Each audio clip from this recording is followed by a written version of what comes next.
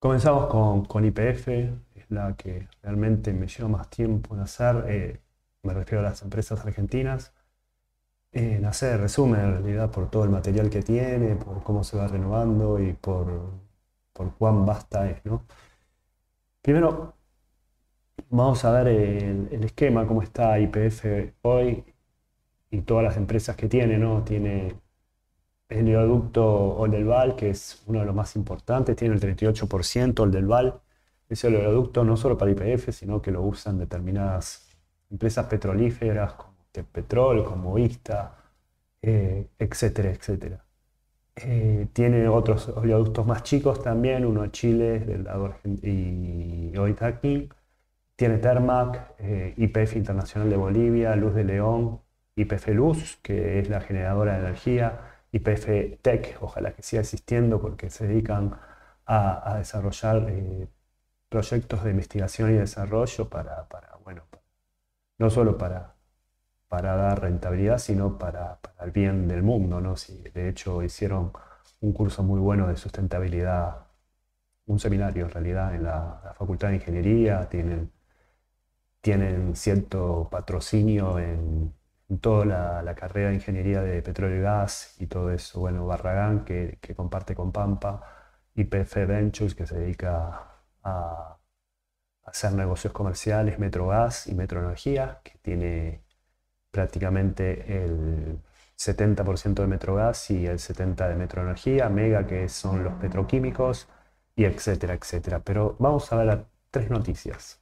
Primero que eh, IPF tiene como, no sé, como, una alucinación o un delirio de, ser eh, potencia cripto. Esto es a partir de la generación de gas que se de venteo que se, se libera a la atmósfera y Luz aprovecha ese residuo y genera energía que va a ser utilizado para el criptado de monedas y para tener una rentabilidad en moneda. Eh, bueno, acá las, divisas digitales permiten financiar la, la explotación de Equinor, que es una, la, bueno, la, la petrolera noruega que, trabaja con proyectos offshore eh, y que, tiene una rentabilidad, mantiene Noruega, para, decirlo algo así, dos grandes polos petroleros como Houston y Dubai, en la, firma, eh, y eh, GDA, es decir, a través de eso podría llegar a entrar en el mundo en lugares recónditos que nunca pensó que, que iba a llegar. Bueno, utiliza gas de otra forma se desperdiciaría, por eso para no tener un residuo de gas y, tirarlo a scrap, eh, se, usaría eso, entonces un buen argumento para, para hacerlo. ¿no? Acá habla de otras empresas que lo usan, como Plus Petrol, Petrol, eh, Petróleo Sudamericano y Phoenix, que es la empresa, que es parte de la empresa de, de Manzano, y ESATEC. Otra de las cosas es la desinversión que tiene planificada IPF hacer, eh, como filiales en otros países a las acciones que tiene como la compañía Metrogas, es decir, tiene pensado en vender Metrogas, eh, todavía no. Después IPF Brasil y IPF Chile, donde tiene 300 empleados Brasil, produce lubricante y gana un millón de dólares, y Chile gana medio millón. Esto no le mueve el amperímetro, ya que la compañía son unidades de negocio muy pequeñas y lo que quieren enfocarse es en el Shea y en vaca muerta, principalmente como, operadora. Eh, y otra noticia más es el desprendimiento del gas convencional eh, a través del Banco Santander, que abrió 55 eh, campos a la venta en Mendoza Norte, donde tiene alrededor de 14 en Neuquén, me refiero a regiones, ¿no? Que tiene siete, el Norte y Neuquén Sur, Río Negro, que también, también tiene alrededor de siete, Santa Cruz y eh, Tierra del Fuego, que no está operativo en Tierra del Fuego, o sea, ni está excavado y, todavía no sé, es muy probable que, pague una multa por abandono de, pozo, que, le paguen por, estos terrenos, estos hubs. Vamos a los Inicia el ejercicio 2024 con un déficit de 649, eh, no, déficit no, superávit de 649 billones. Esto lo vamos a, colocar bien porque si no es superávit. En el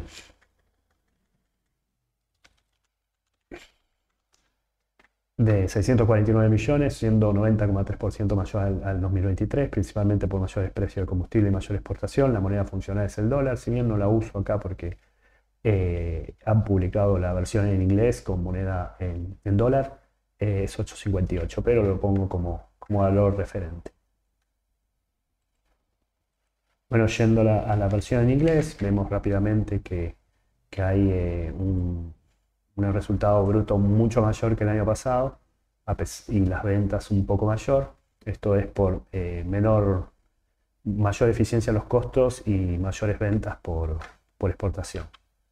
El principal hito se han mejorado los resultados operativos por mejorar los precios de combustible, como dijimos, estableciendo una brecha entre el precio internacional y medianito en torno al 10%. Las inversiones en general fueron enfocadas en operaciones al SHEI y bajaron un 15% por devaluación. El plan de inversiones para este 2024 es en torno a los 5 mil millones y se ha financiado la ley eh, Nueva York, por ley Nueva York, esto no se hacía hacía bastantes años, por 800 millones de dólares con un rendimiento de, eh, al vencimiento del 9,75 anual. Esto es el interés.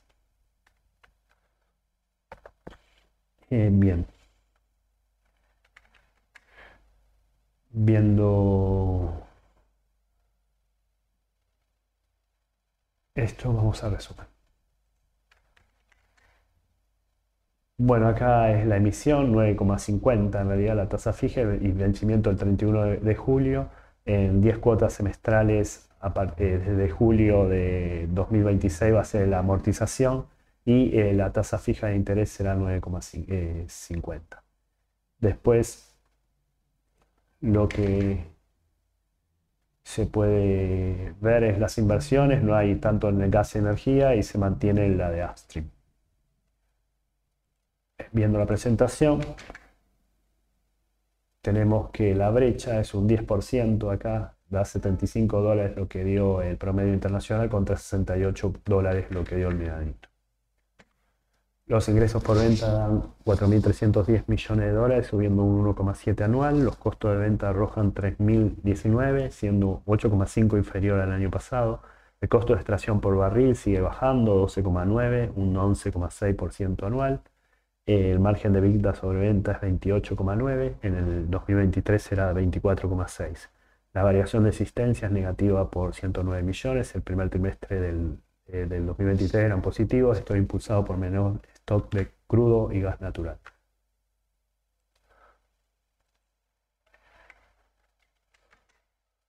Bueno, acá esto ya lo vimos.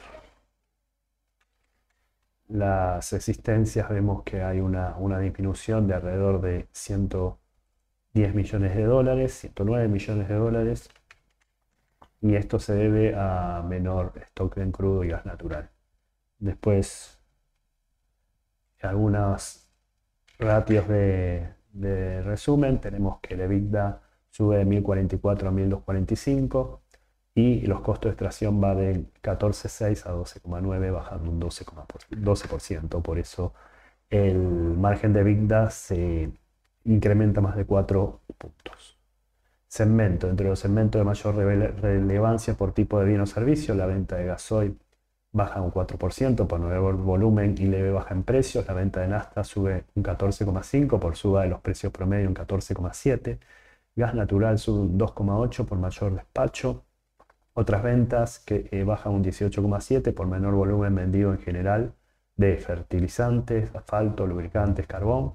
La facturación al exterior es 15,3, sube un 37,9 debido a mayores ventas de crudo. Esto se da por el oleoducto de, que va hacia Chile un trabajo de Olderval principalmente y de OTC, que es el oleoducto que tiene en Chile, y granos y harinas, que bueno, la sequía bárbara que hubo el año pasado casi no, no se facturó, aumenta un 456,3%. El precio de venta promedio del Bren es 68,3 como vimos y siendo un 2,2 mayor al promedio del año pasado.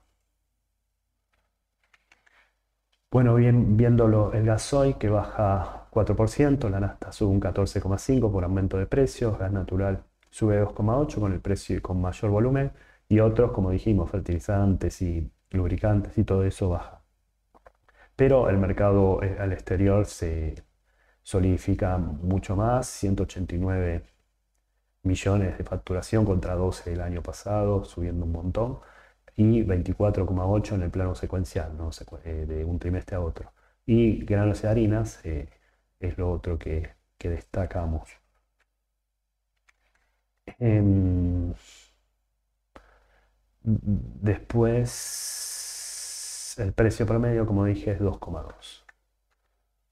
Bueno, la producción de hidrocarburos un 3%, el shale, que hoy día es lo que más tiene, hasta, hasta el trimestre pasado convencional seguía, seguía liderando, el shale ya eh, es el, que más produce, es un 12,7, el, convencional es un 6,3 eh, menor, y el TAI, que casi no se usa, baja un 4%. El shake, eh, la idea, como dijeron en, en la conference de, de fin de año, eh, sube, va a ser 75, 70-30, ¿no? 70 J, 30 convencional o 75.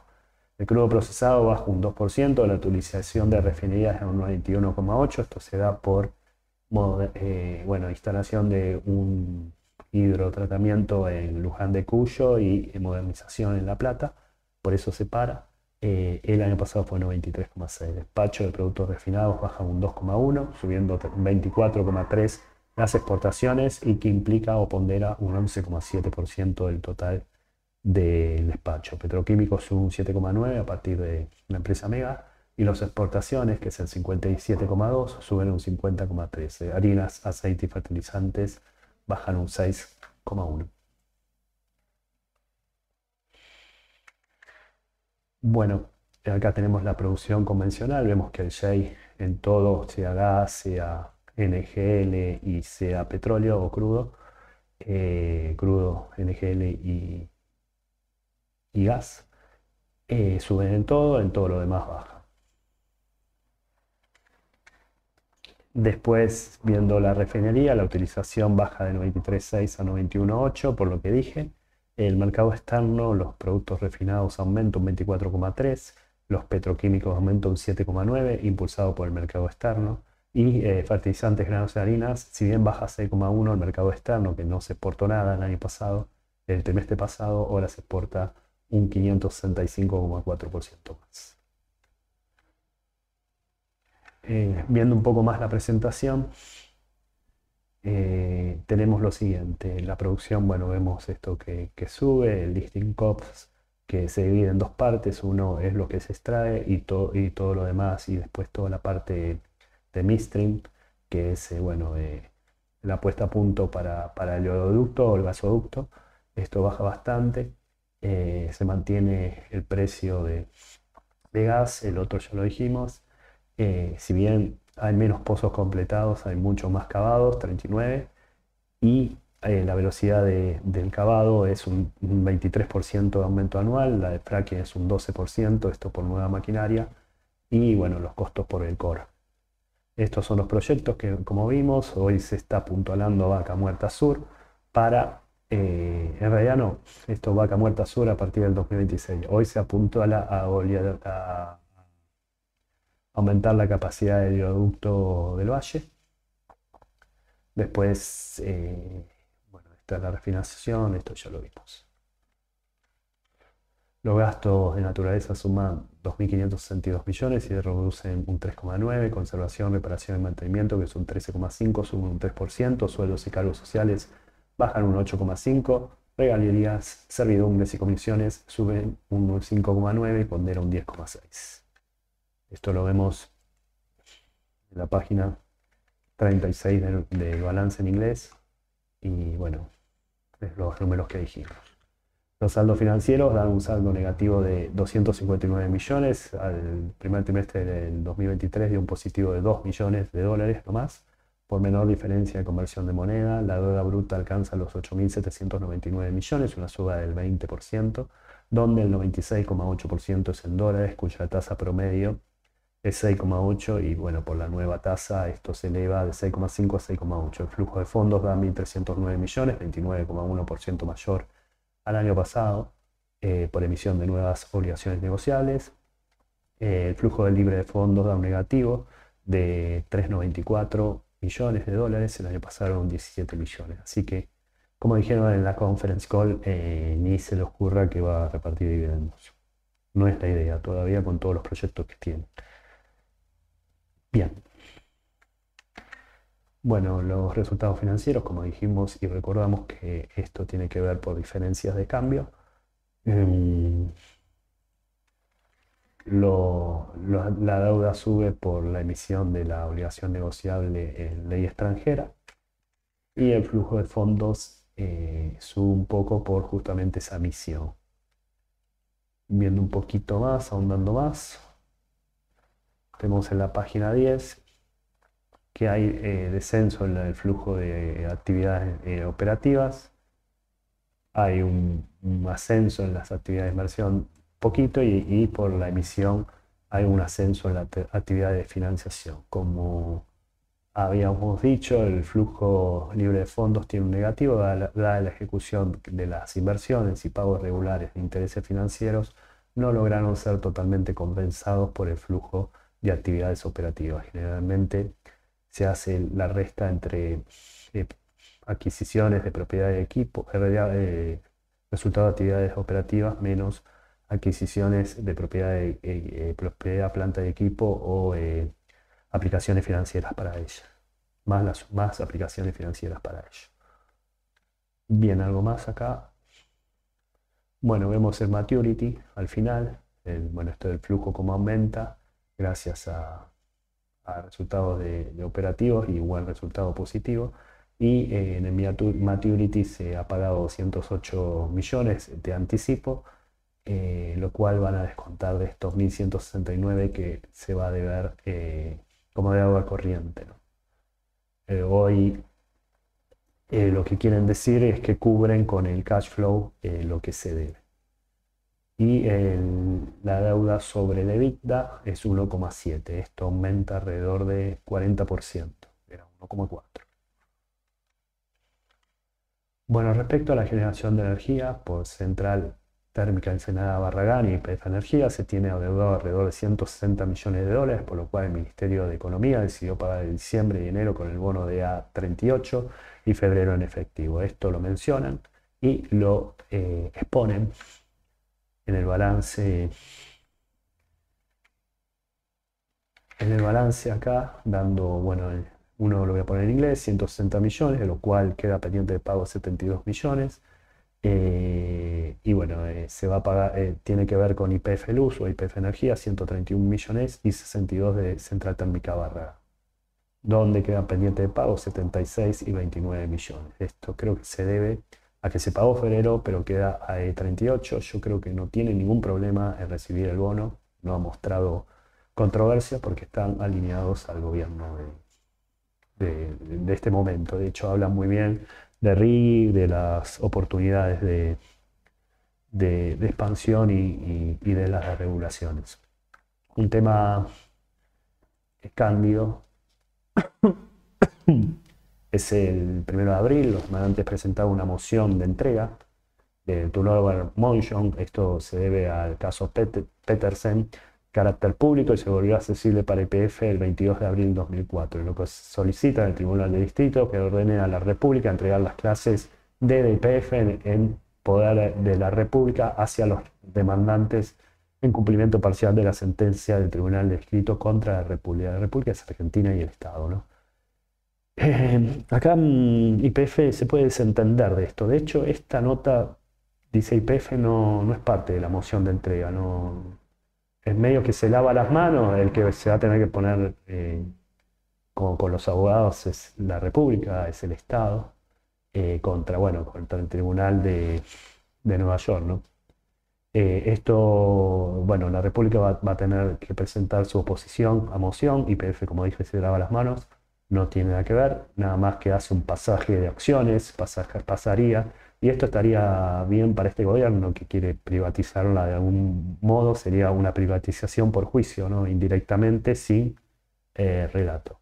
Los demandantes tienen hasta el 30 de mayo, o sea, el 1 de junio es un día que, no, no, no digo que sea un día clave, pero van a tener alguna novedad, de, seguramente se van a tomar unos días o unos meses para la decisión según eh, el material o la documentación que presentan ambas partes, la República, el Estado y los demandantes que, son tenedores o que, o que perdieron tenencia de, de, de estas acciones. La liquidez pasa de 1,03 a 0,95, la solvencia de 0,71 a 0,6, el valor del libro es 21.447 por acción, la cotización es 26.101, la capitalización bursátil es 10.294 y la ganancia por acción es 1.370,6 pesos y si es en dólares 1,66 dólares. No tiene PER porque los cuatro trimestres me da negativo. Es todo.